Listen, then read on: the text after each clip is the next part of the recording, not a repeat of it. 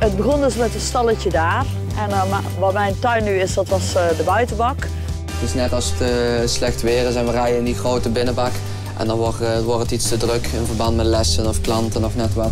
Nou, dan mooi, hier kan ik een beetje op mijn gemak, mijn gemak rijden. Wat bijna niemand zomaar kan, is deze club mensen wel gelukt. Een kijkje in de keuken bij wereldtoppers Ankie van Gunsven en Michael van der Vleuten. Hoe ze dat voor elkaar kregen? Nou, zo. We moesten een foto insturen en dan uh, hashtag samen met erbij doen. En dan ja, gewoon wachten tot ze misschien iets zouden zeggen. Eerst dacht ik, dit is een grapje. Er zit gewoon iemand uh, ja, flauw grapje met me uit te halen. Ik dacht, ik doe gewoon mee en uh, we zien het wel. Maar we hebben gewonnen.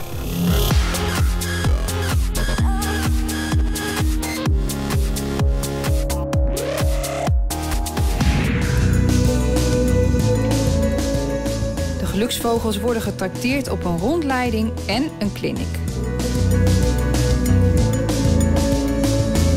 Jij wil ook uh, iets anders met je lijf doen dan de hele dag rechtop staan. Want als je niet gymnastiseert, dan ga je vastzitten en dat is echt slecht. Ik vind het vooral heel leuk dat, gewoon, ja, dat Michael ook heel normaal is eigenlijk. Dat hij heel normaal is gebleven. En het is allemaal ook heel netjes en professioneel en dat is ook wel weer leuk ja, het is allemaal zo, uh, zo schoon en netjes en goed in elkaar.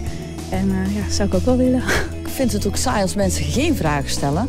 Want dan kan ik niks vertellen. Ja, ik vertel toch wel. Maar uh, ja, nee, ik vind het echt heel leuk om zowel zelf te rijden... maar ook vind het ook echt heel leuk om kennis uit te dragen. Oké, okay, voor ons is het natuurlijk allemaal uh, heel gewoon, omdat we iedere dag hier aan het werk zijn. Maar ik denk voor, uh, voor zo'n groep zoals deze is het best mooi om een keer, uh, een keer achter de schermen te kunnen kijken.